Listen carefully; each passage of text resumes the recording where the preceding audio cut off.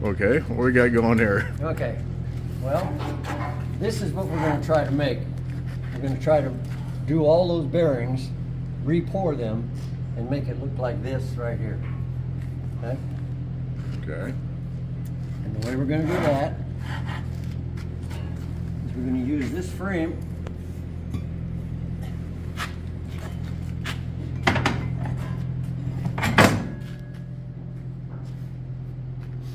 Once we get that centered, get it tightened down.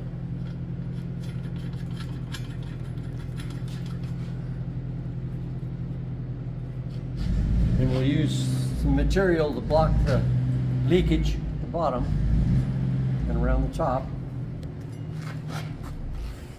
And we have the proper clearance between what size bearing we're gonna have to have. And then this is the babbitt.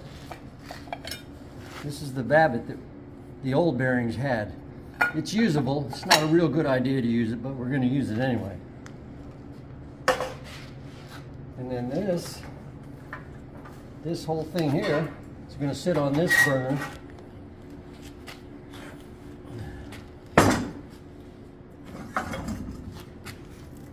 This is gonna sit on this burner here. And warm up. And that's gonna warm up. We got our seal, all the seal stuff in place to keep it from running over. And then this is gonna be molten. And it's molten, we pour it in here. But this is gonna be hot, and this is gonna be hot. So great care is gonna have to be taken to.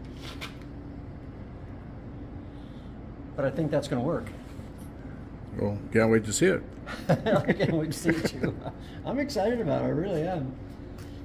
But this is this is uh, going to be the same thing as the uh, crankshaft um, journal. And when we get the crankshaft turned, we're going to turn all the main the main uh, bearings. We're going to turn them all the same size.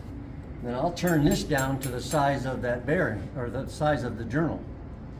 Then when we pour it, this bearing, this bearing will fit. This one won't fit, but we're gonna, we'll make it fit once we pour new bearings. But the first thing that has to happen is that that crankshaft needs to be turned. And once we find out what, what dimension they turned the journal to, I can turn this down to match it. Then when we pour the bearing, the bearing will fit. That's where we're at. Oh, good. Thanks for explaining it.